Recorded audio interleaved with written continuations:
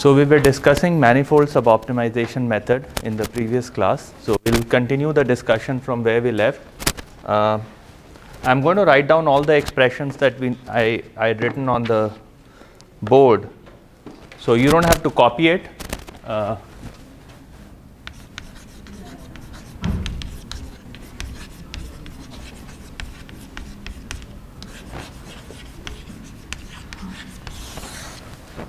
So I want to minimize f of x ax less than equal to b x is in Rn.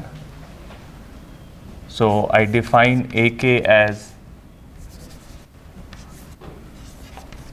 aj j is in the set of active constraints at ak. I define bk accordingly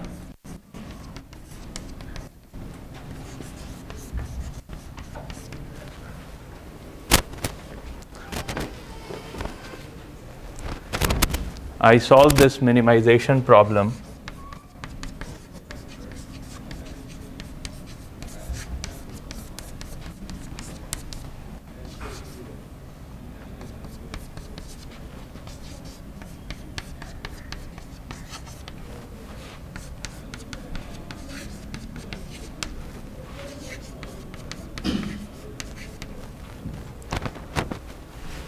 And this solution is given by mu equals to minus hk inverse.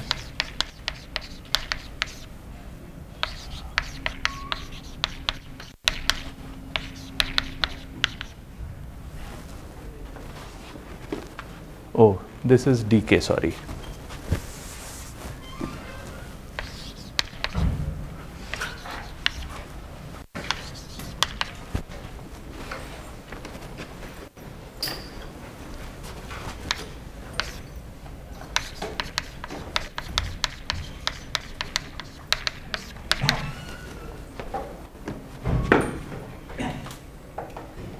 hk inverse.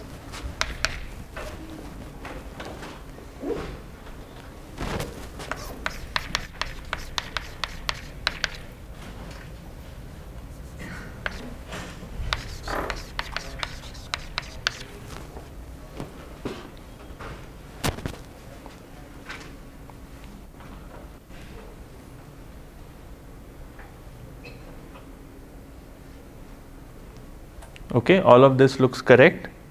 So we have two we have three options.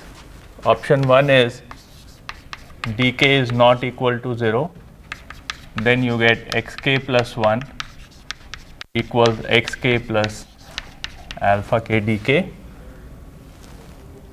where alpha k is supposed to be some feasible value between 0 and its maximum possible value.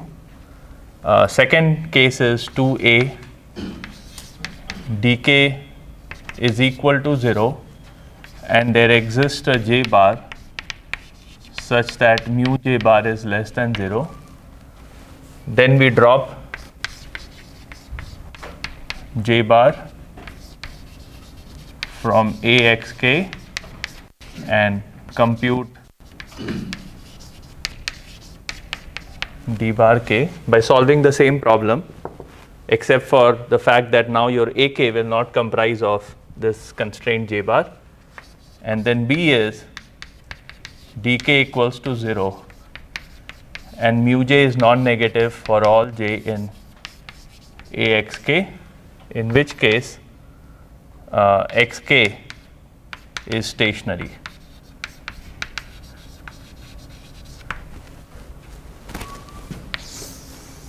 So this is roughly where we uh, where we stopped in the previous class. So today we are going to look at the assertion 2 and assertion 2a and 2b. What exactly is happening? Okay. Perfect. So my dk is equal to 0. So this is a positive definite matrix. This is a negative sign. So which means that this particular term is 0. So I have my gradient of fxk equals minus mu j aj where j is in axk. This is the case 2.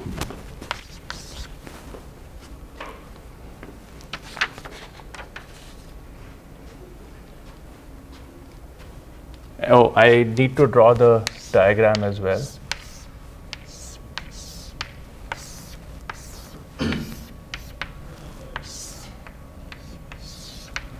So I'm standing at this point, this is my xk, and I have three active constraints, this line, this line, and this line. So I have three active constraints here, and uh, and therefore my feasible direction d is 0, uh, dk is 0 at this particular point.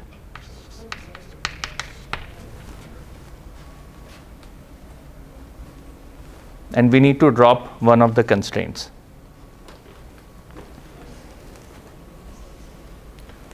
So let's look at the part B. So what happens? So what are the feasible directions at this particular point? Uh, so I know that AK xk plus alpha d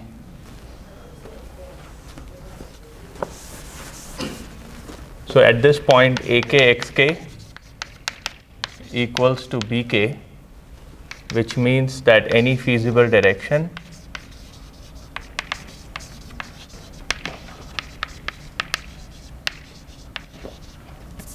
direction D must satisfy AKD is less than equal to 0 or I should say AJ transpose D for all J in AXK.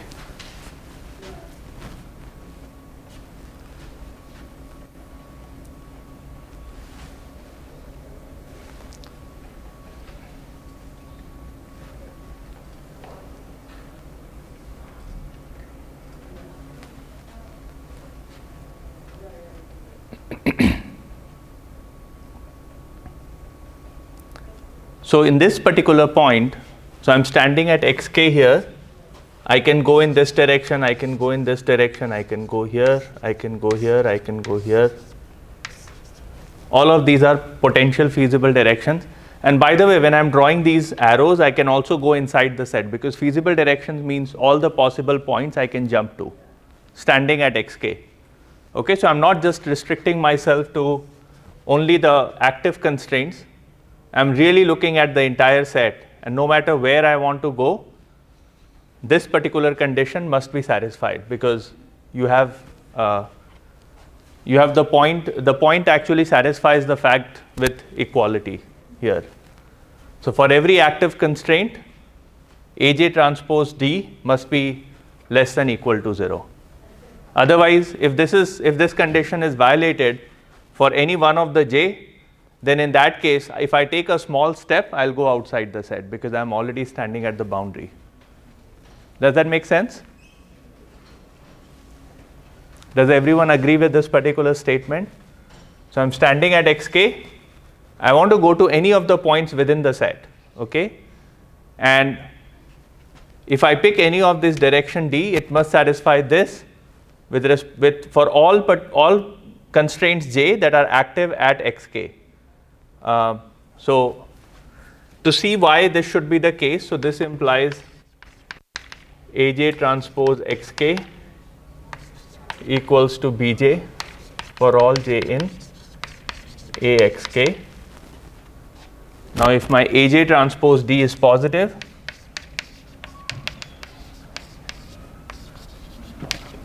let's say Aj bar, no, j bar is already used. Uh, what should I pick? AK. Are we using K? Or K is already used. L. L is used somewhere? No, L is not used.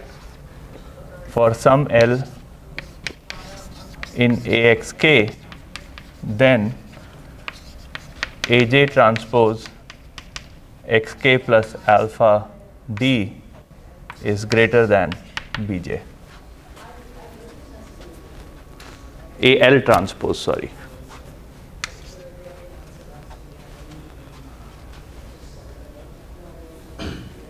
Do all of you agree with this statement?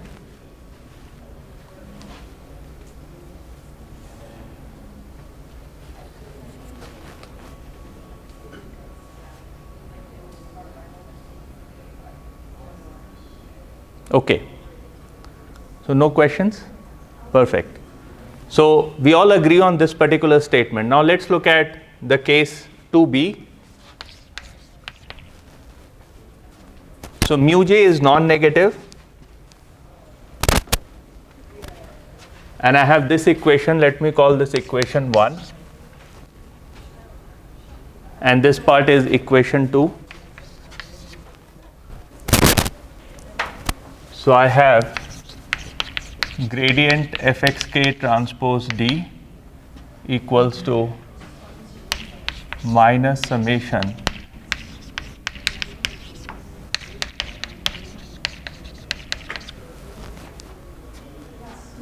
So AJ transpose D is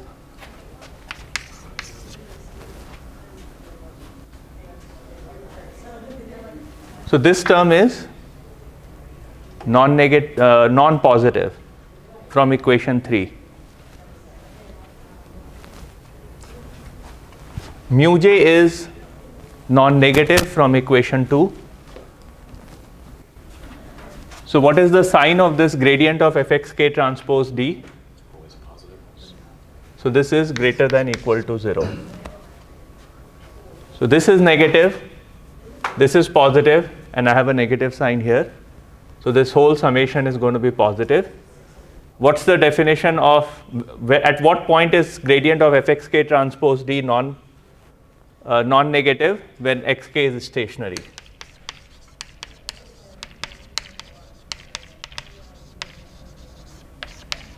It satisfies necessary condition for optimality.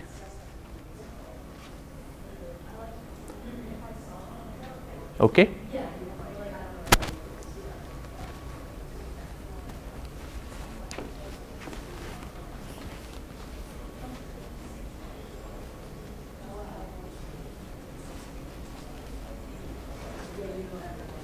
Any question?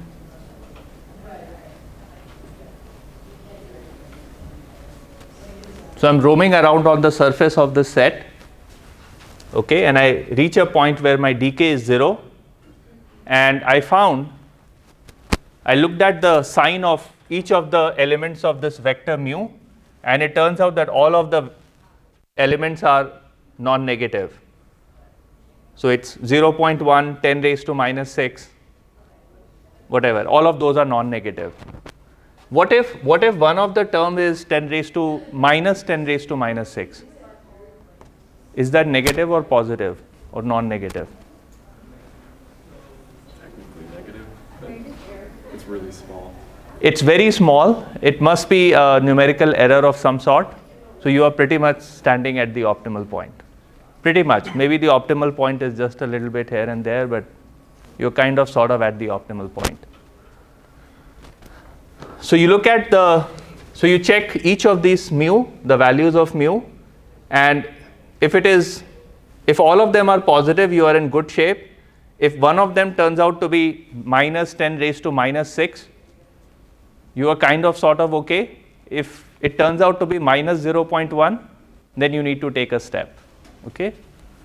So just make sure whenever I write so this is something you will learn in optimization, especially if you're writing solvers.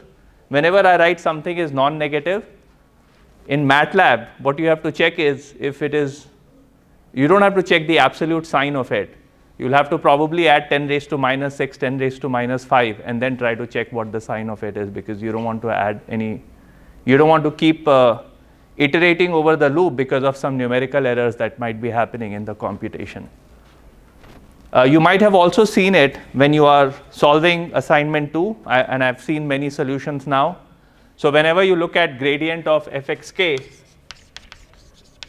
or fx star, some people are getting it minus 10 raised to minus 15. right? And that's pretty much optimal solution. So just be careful when you are writing solvers. Okay, zero, zero doesn't mean zero in MATLAB. well, 10 raised to minus 15 also means zero in MATLAB. So anyways, that's uh, something to uh, remember. But, uh, but what we have here is that if dk equals to 0 and each of the mu j is non-negative for all active constraint, then xk is stationary. That's what we have proven. So you are at a candidate optimal solution. To prove that you are at the optimal solution, either f has to be convex or you have to figure out some other way of proving that you are at the optimal solution. Okay, so now I want to move to 2a. Okay. No questions on 2b, so I'll erase much of the stuff.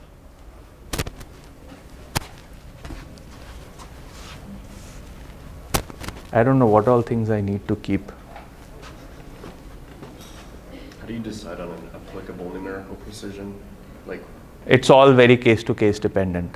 And it's also dependent not just on case to case, but also on the execution time you need. So okay, uh, going from 10 raised to minus 6 to 10 raised to minus 15 might take 500 iterations or might not take those many iterations. So a lot of it is on a case to case basis.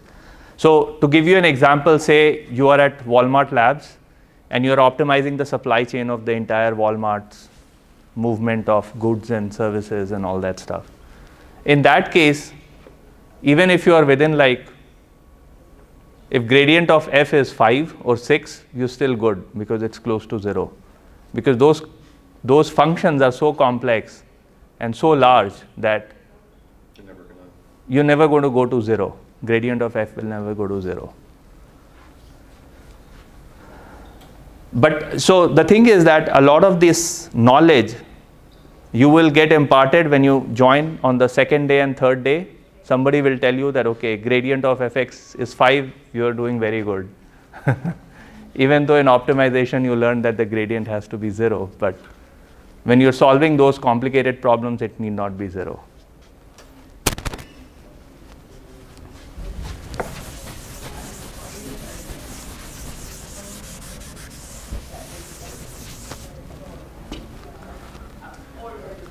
Okay, so when dk equals to 0 and I pick a j, j bar such that mu j bar is less than 0 and then I drop j bar from axk and compute d bar k. So I'm solving this particular problem all over again. So I get d bar k. I have to maybe define a bar k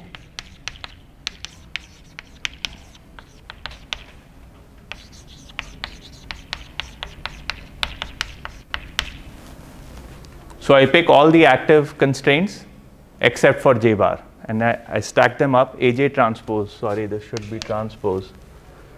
Am I missing transpose here too? Make a note here, there is a transpose here in this matrix. And there should be a transpose here as well.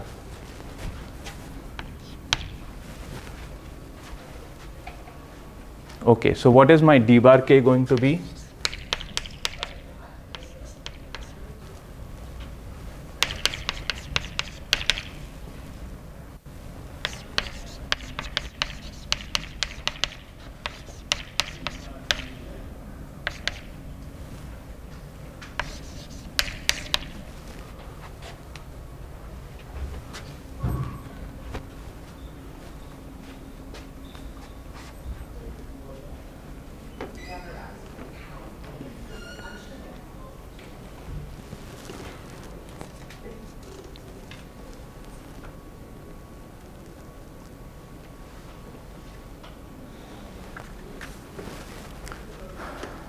So I need to prove the following.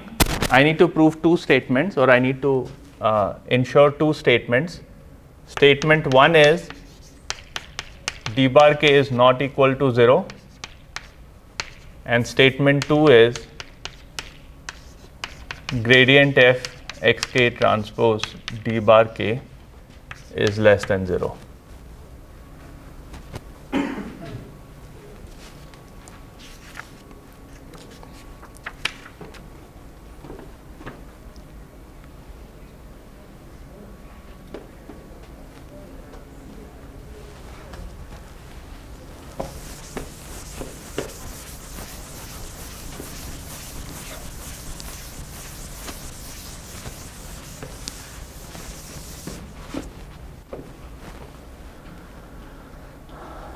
What should we do to prove that d bar k is not equal to 0? So let's assume, let's assume for the sake of argument that d bar k is equal to 0. So if d bar k equals to 0, then it means that gradient of fxk equals to negative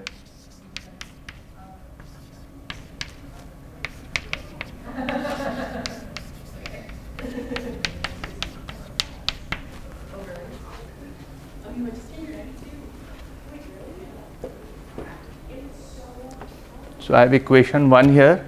I'm going to call it equation 2.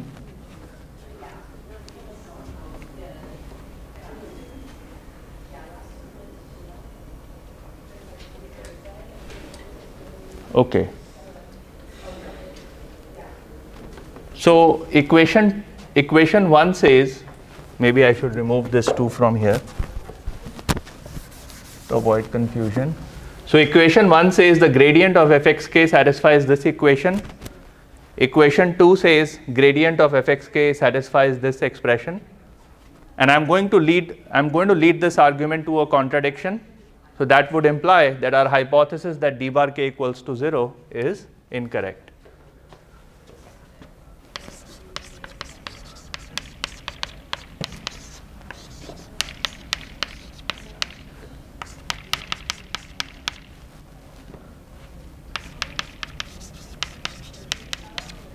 This is my equation 2. I am going to subtract this. What do I get? 0 equals to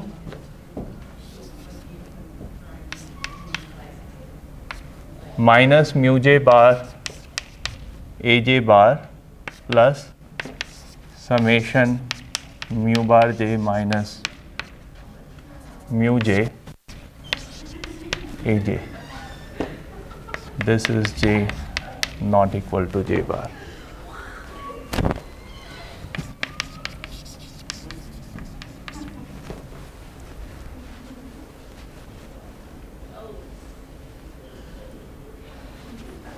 So I subtracted equation 2 from equation 1 and I get this expression which is similar to saying mu j bar aj bar equals to some summation of aj j equal to naught j not equal to j bar. Is there a problem in this equation? What's wrong in this equation? You Right. So there's nothing on uh, with j bar on the right hand side, and then j bar only appears on this side. And remember that mu j bar was a non-zero, non-zero vector, or non-zero element. It was strictly negative. And so these could be zero. This could be non-zero. But on this side, this is non-zero. This is non-zero. Okay. So this side is non-zero. This side if these two are equal, then this becomes equal to 0. If these two are unequal, then what I have is aj bar is a linear combination of aj's. Do you think that the three lines that you see here, three active constraints you see here, they are linearly dependent on each other? They're not linearly dependent on each other because they are all going in different direction, right? So if you look at if you look at the aj, uh, they all will be pointing in different directions. So they're not linearly dependent on each other. But this equation seems to suggest that aj bar is a linear combination of aj, which contradicts the fact that these are all independent directions. As a result of which, our hypothesis that d bar k equals to 0 is wrong. Okay, because we started with this hypothesis and we concluded that there is like a linear dependent structure at this particular point and that cannot happen because these are all independent constraints. So our hypothesis must be wrong. So d bar k must be non-zero.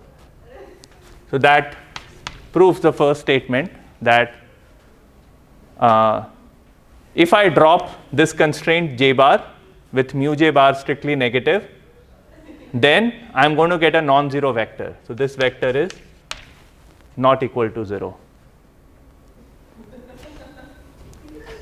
Now the second part is this particular statement. So any questions so far?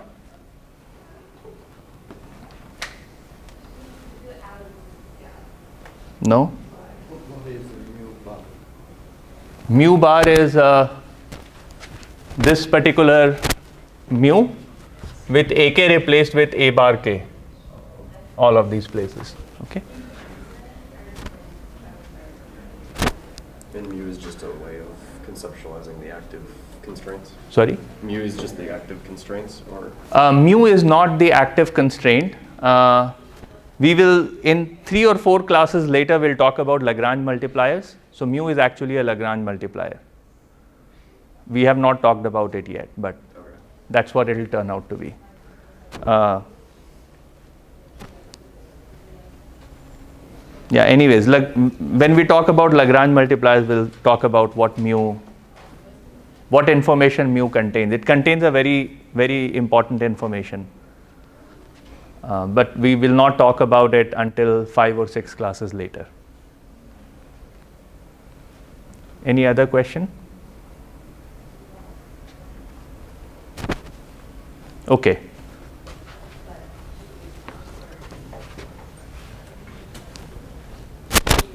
Now I need to prove this equation too. So I want to erase this side of the board.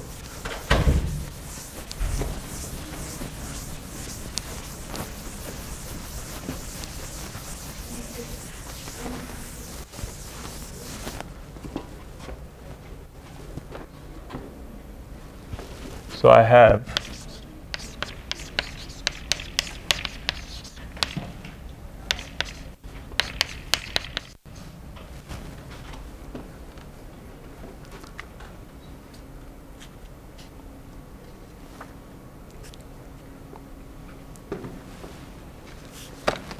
Okay.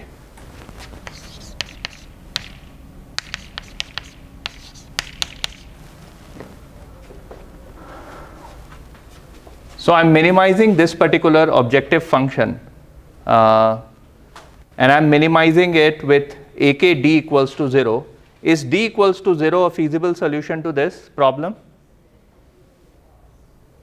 Right? So d equals to 0 satisfies the constraint, it is also an Rn. So in other words, d equals to 0 is a feasible solution, not solution, sorry, I don't want to say solution. d equals to 0 is a feasible point within this optimization problem. So this means that this is less than or equal to gradient fxk transpose 0 plus half 0 transpose hk 0.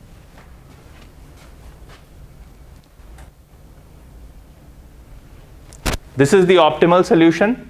This is the value of the objective function at a specific point. And by virtue of this being an optimal solution, you must be have you, you must have a less than equal to sign here. And this term is actually 0. So what I have is gradient of fxk transpose d bar k is less than equal to minus half d bar k transpose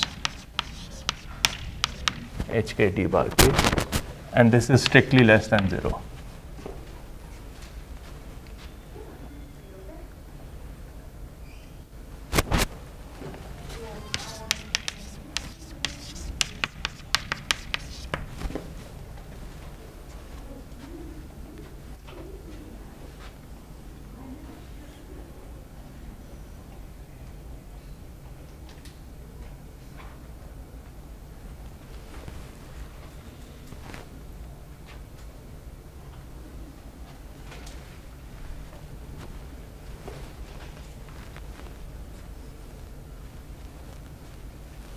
Okay, that's the complete algorithm for solving problems of this type.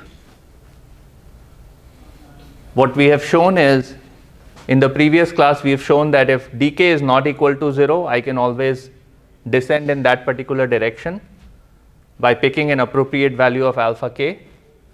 In case dk turned out to be 0, and if there exists a j bar such that mu j bar is less than 0, then I'm going to drop it from the constraint set and I'm going to compute d bar k. what we have just shown is in this situation d bar k will always be non-zero and d bar k will always be a valid descent direction. Okay? So, we have shown both these results. In case dk is equal to 0 and mu j is non-negative for all j, then we have shown that xk is stationary point, which means it's a candidate for an optimal solution. So that's uh, what manifold suboptimization method is. In the context of linear programming, I'll just make a small comment here. If fx is equal to c transpose x, this is a linear programming problem, then it is known as a simplex method. This algorithm is known as a simplex method. And this was designed in, I don't know, 1940s when everyone was shooting at each other. Uh, and in that algorithm, the only difference is you pick alpha k in a very specific fashion.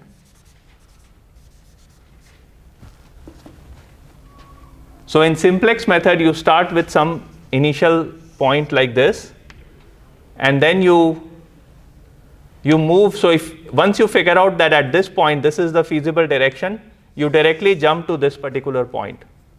Okay, you don't you don't pick alpha k.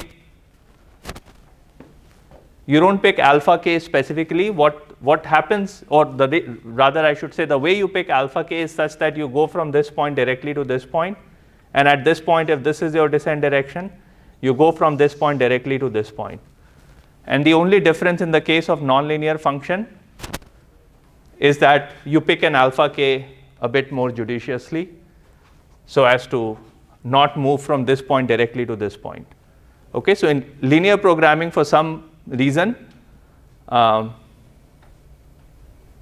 you basically move from one point directly to the next next vertex. So from this vertex, you directly move to this vertex. From this vertex, you directly move to this vertex. Whereas in the case of nonlinear, uh, nonlinear functions, you don't try to go from one vertex to another. You try to take a few steps in between because you don't know what's going to happen in the middle. So that's the only difference. And, and uh, this, this algorithm was, uh, uh if I'm not mistaken, it's one of the first algorithms to solve this linear programming problem of uh, minimizing C transpose X such that AX is less than equal to B. And again, if I'm not mistaken, this method was used for moving troops and moving supplies during the World War II. Okay? What prevents you from overshooting the vertex? Uh, you know what they do generally is uh, they will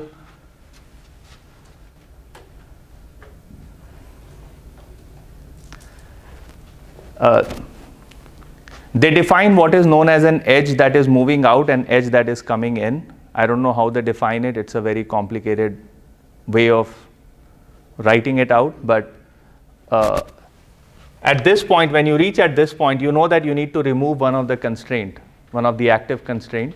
But what they do is they add another active constraint and then they just invert the matrix in order to get to this particular point.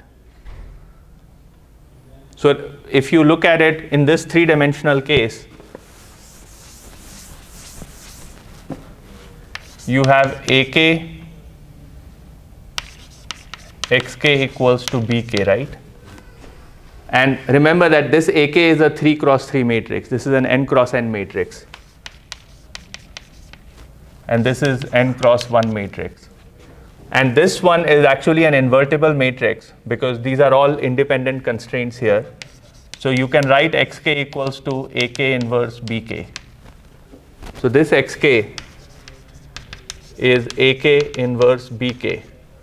And once you know which constraint you need to remove, you try to figure out which constraints you need to add so as to get to this particular point. So how to figure out which constraint you need to add is something that you will find it described in some book that talks about simplex method. Okay. But that's roughly how they figure out that this constraint, this, this constraint needs to remove, needs to be removed and the new constraint needs to be added. And then they compute xk plus 1 equals to ak plus 1 inverse bk plus 1. And that's how they go from this point directly to this point. So they're deleting the uh, constraints of the upper, upper plane and they added the That's right. That's right. Yeah. Okay. Three-dimensional problem or seven-dimensional problem? This one? It's a three-dimensional problem. Here you have seven constraints. So this A, the number of rows of A is seven in this case. Okay.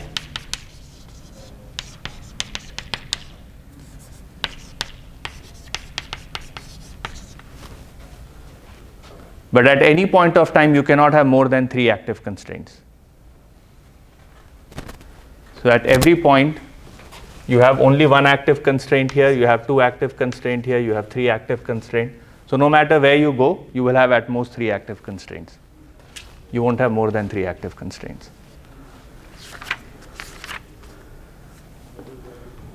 Okay? Uh, now let's try to find out another way of solving this linear programming problem. I want to minimize C transpose X such that uh, I'll change the constraint a little bit. So let's move on to the next topic, which is an affine scaling method. Yeah, affine scaling method for linear programming.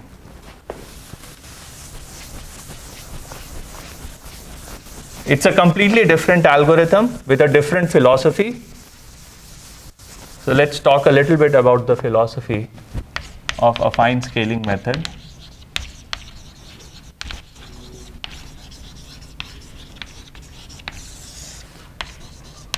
I want to minimize C transpose X, AX equals to B, X greater than equal to 0. And I'm talking about this method is from 1960s, somewhere in 1960s.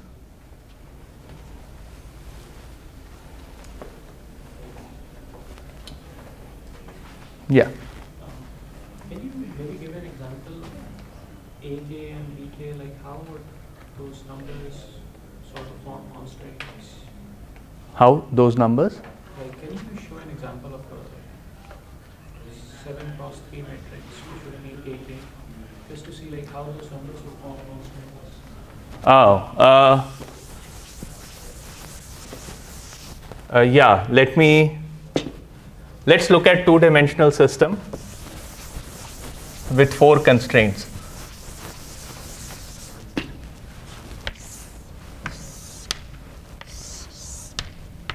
So this is my x1, this is my x2, and this is my constraint set. So what's the constraint set? x1 greater than equal to 0, x2 greater than equal to 0, x1 less than equal to 1, x2 less than equal to 1. This is 1, 0, this is 0, 1. Okay, so I have these four constraints. Uh, I am going to write it as 0, 0, 1, 1. Uh,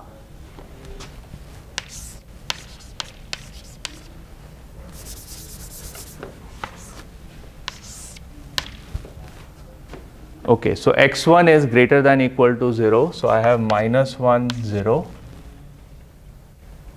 Then x2 is greater than equal to 0, so I have 0, minus 1. And then I have 1, 0, and then I have 0, 1. So I have four, four rows here. I have two columns. And this is, of course, R2. And this is in R4.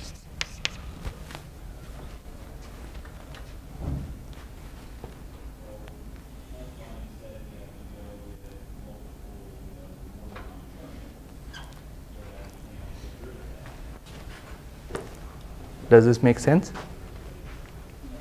Okay. Now you, you might want to add additional constraint. So you're going to cut this off and you're going to add this constraint, which could be like A1, A2, X1, X2 less than equal to B. So as to be in this particular region. Then you can add additional constraint here.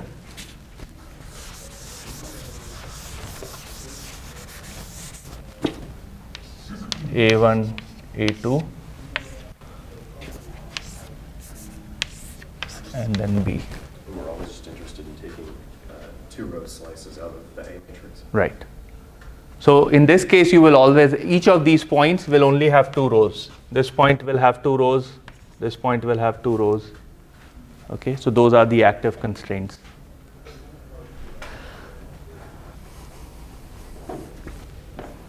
At the origin, at the origin when x1 and x2 equals to 0, these are the active constraints. So this would be my ak if, if I'm at the origin. Okay, if this is my xk, then this is my ak. Don't you have four constraints active at your edge? You will never have four constraints active. So if I'm standing at the origin, I only have x1 equals to 0 and x2 equals to 0.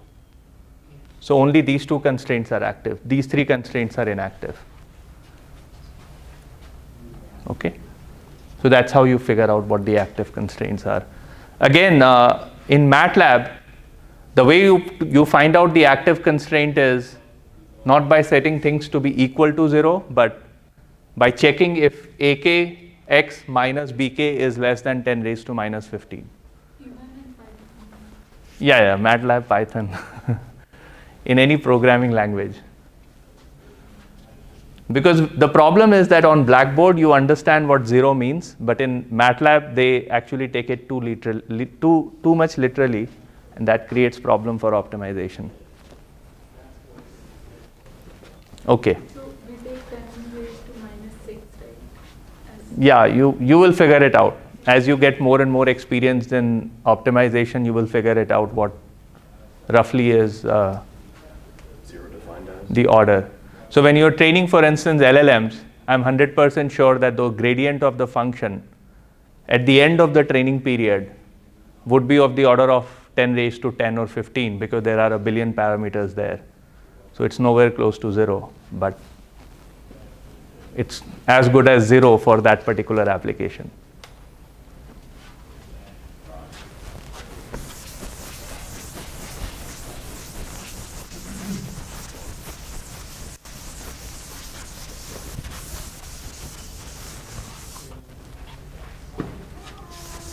Any other question on this?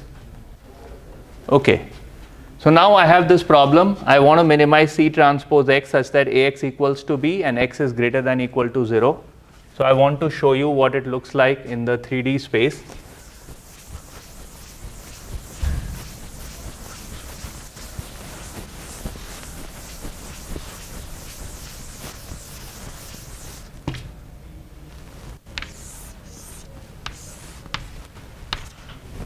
So here is my X is in R3. What is AX equal to B? So AX equal to B is a hyperplane. Okay, it, it's a plane that extends all the way to infinity. But I have this additional constraint that X must be non-negative.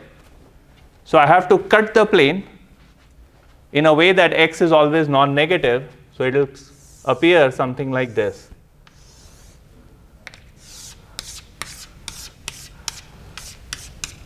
Because x is, e- x is greater than equal to 0 at this plane.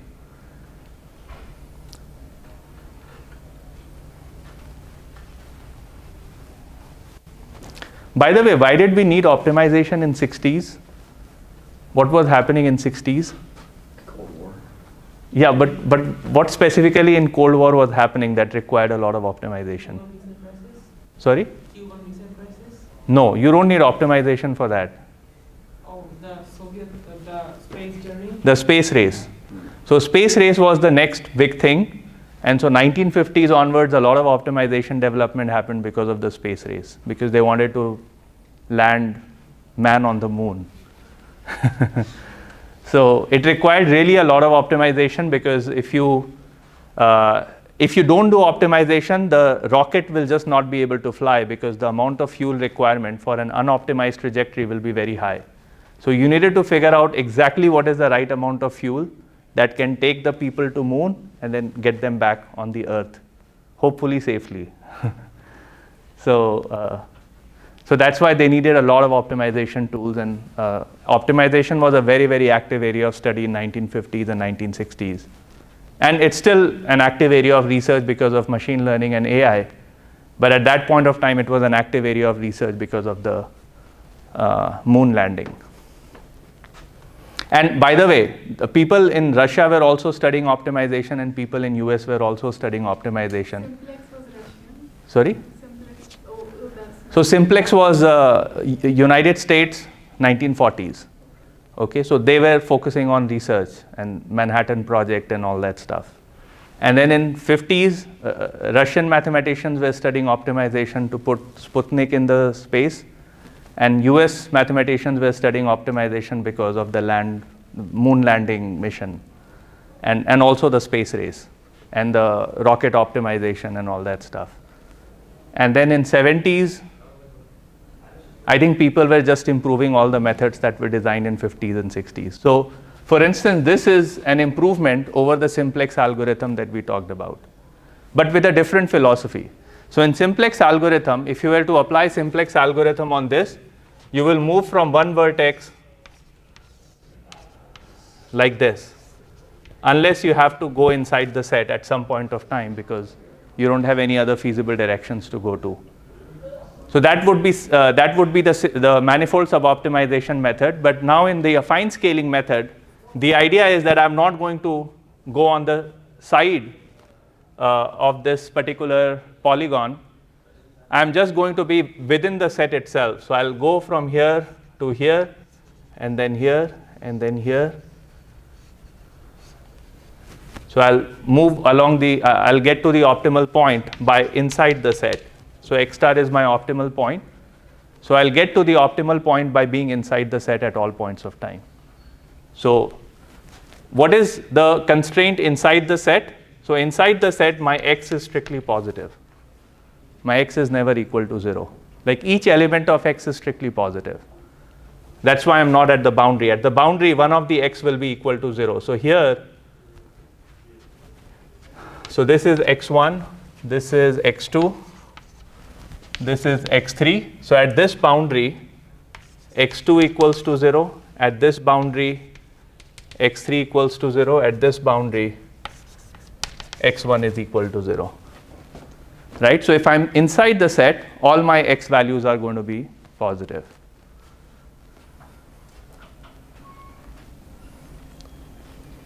C transpose X.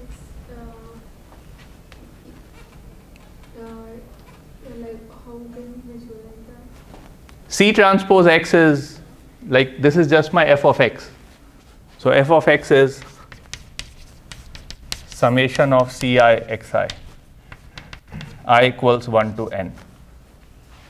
Okay, so you go to Kroger or Whole Foods or Giant Eagle, whatever.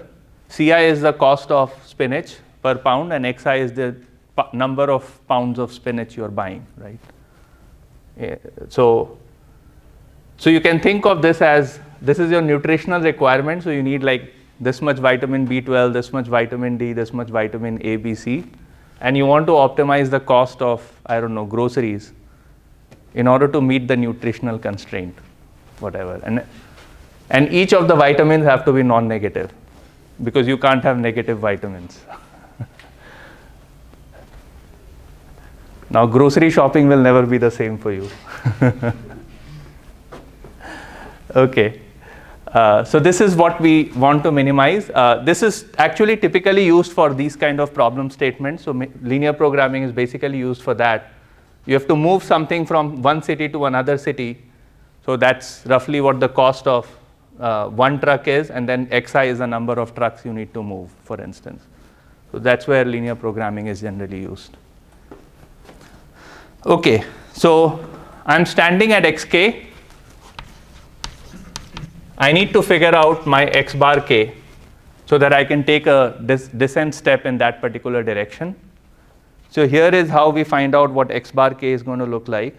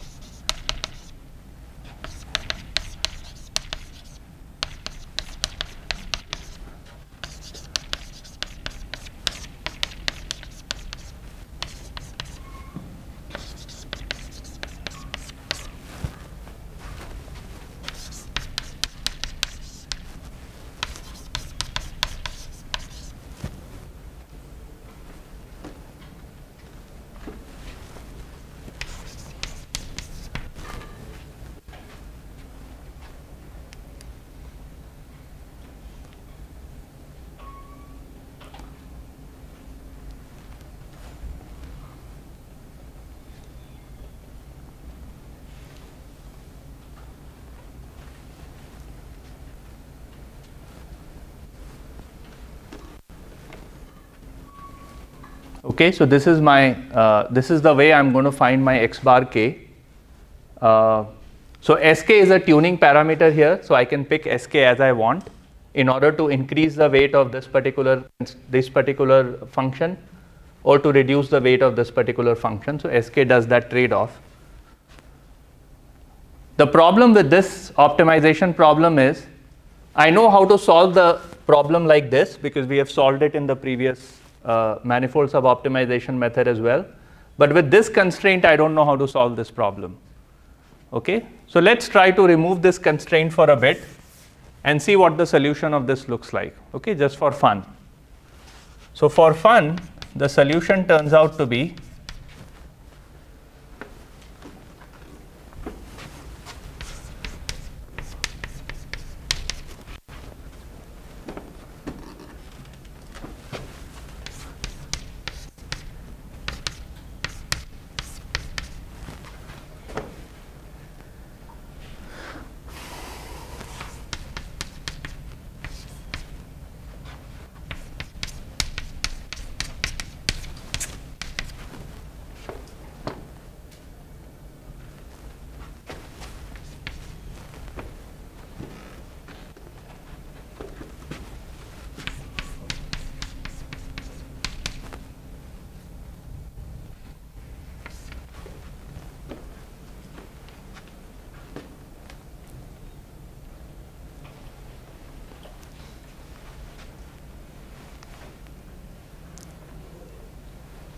Okay, so this is my xk, x bar k, and this is my lambda k.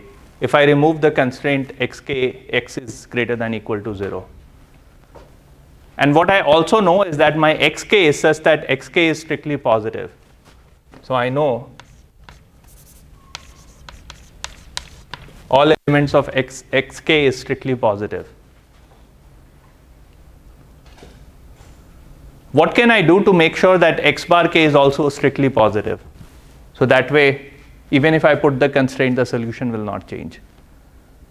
What can I do? So I know that this particular, all the elements of this vector is strictly positive. I want to figure out how to make x bar k strictly positive by appropriately picking sk to be small number. I have a strictly positive number. This is something I can pick I have complete freedom over sk and this is something that comes from the problem statement itself. So I'll compute this value. I know xk, I'll pick my sk such that x bar k is strictly positive. Then that's also a solution to this problem with the constraint that x is greater than equal to 0. Okay, and we are out of time, but basically in the next class, I'll talk about how to pick hk in a way that this whole algorithm makes sense and it also converges faster to the optimal solution. So we'll talk about that in the next class. But this is the philosophy of this algorithm. So we have picked sk already. Now we just need to pick hk appropriately. That's all. Uh, I'll see you guys on Friday. Oh, today is Friday. I'll see you on Monday.